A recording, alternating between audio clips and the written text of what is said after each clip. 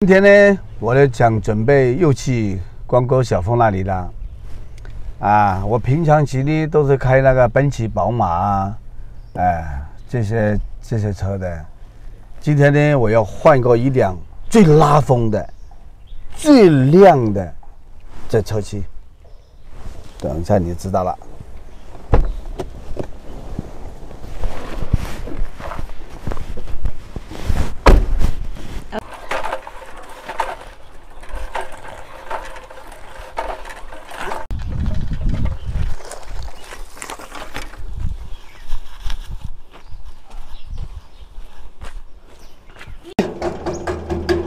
开门啦！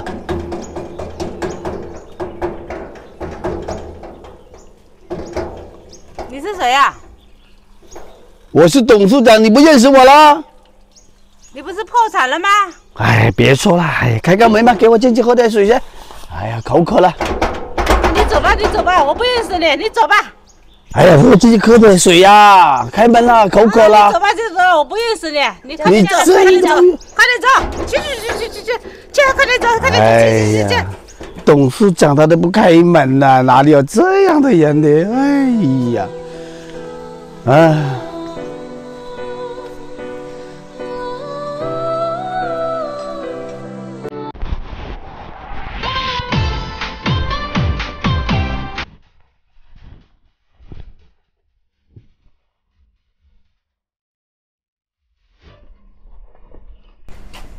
董事长，我错了，董事长，我错了。哎呀，错也不行了，你你你明天不要来上班了，走吧走吧走吧走吧，董事长，你再原谅我一次吧。走吧走吧走吧走吧。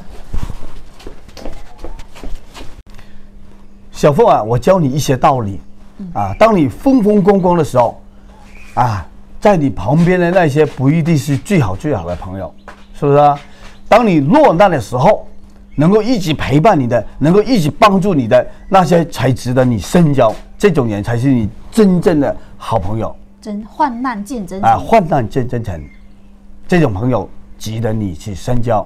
是的，通过董事长这次破产，其实也不是真的破产，只是为了试探。啊，对，不是破产，我们是试探一下我们一些那些人两面三刀的那种人，嗯，啊，那那种人就一就通过这个小招就可以啊试探出他们心里面想的是什么，啊，我们可以也可以教育了很多很多的人，是不是？当领导的人也可以试探到自己的员工，自己最得力的人。所以说呢，嗯我们平常时呢就靠这些小事去试探，就知道哪些是真心，哪些不是真心。是真心了，咱们就重用他，是不是？对对对对对对对，啊，对，好的，感谢我们董事长又教会我的一个道理。好。